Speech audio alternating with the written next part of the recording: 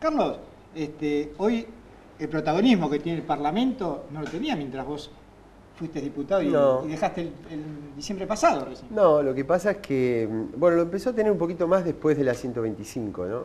Después de, aquel conflicto. Exacto. Pero mm, lo que pasa es que cuando hay, cuando coincide la mayoría del Ejecutivo y, y el Parlamento, eh, las cosas, por decirlo en lenguaje de la esquina, van como por un tubo, ¿no? Un poco lo hablábamos antes de, fuera de cámara. Somos un poco así, es decir, cuando tengo la mayoría hay como una sensación de que puedo hacer lo que quiero, ¿no? Y, y- todos proceden igual, ¿eh? No es una, digamos, circunstancialmente le tocó a cierta oposición atacar al kirchnerismo por eso. Pero después, cuando ayer en el Senado tuvieron la oportunidad, en cinco minutos este, rechazaron el pliego de Marcó del Pon sin, sin este, respetar los tiempos ni nada. O por ejemplo, cuando tenés una Sí, mujer. parece ser como que el consenso lo, lo Claro, pregono cuando soy minoría. claro, Apenas tengo claro. un voto más, un voto más, ya no quiero más consenso. Bueno, y después tenés, por ejemplo, una mujer como, como Carrió que habla del Parlamento y cuando Prat Gay pensaba una cosa, prácticamente lo sumergió, eh, le hizo la prueba del submarino hasta que no le dijo que votaba lo que ella quería. Así que vos te imaginás lo que sería un Parlamento si Carrió tuviese poder. ¿no? Mundi, en el día de hoy, eh, la presidenta justamente Cristina Fernández de Kirchner utilizó el atril de la presidencia, la cadena nacional y denunció un posible plan de desestabilización institucional.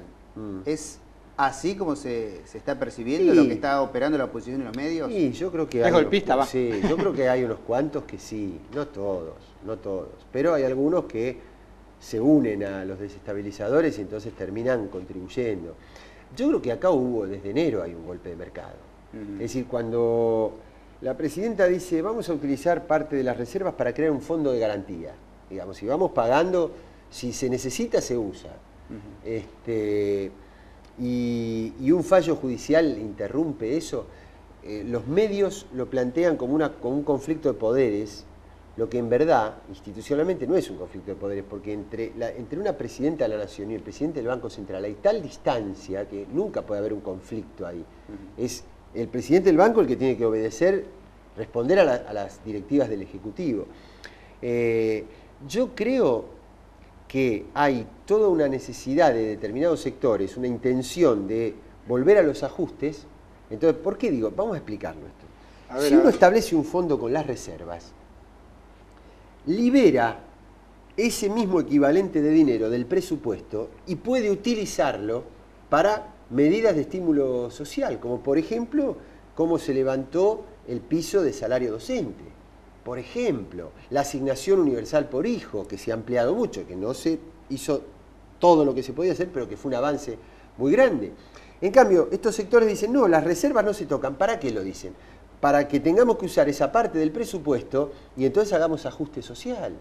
Eh, entonces, eh, me parece que hay sectores que le hacen el, juego, eh, ¿no? Pero esto no es lo que piensan, por ejemplo, los sectores de algunos sectores de centro izquierda o el tema, por ejemplo, del proyecto sur de Pino Solana y sin embargo, digamos, este, también están en contra de esta Sí. decisión del gobierno. Y Y, bueno. no creo que estén por el ajuste, digamos.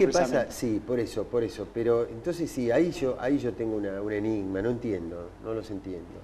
No los entiendo, pues la verdad, yo te digo, a un gobierno que ha hecho la ley de medios, que ha restatizado las jubilaciones, que acaba de ir a México a establecer un sistema latinoamericano sin Estados Unidos, el progresismo le tiene que hacer críticas, desde luego, yo le hago críticas.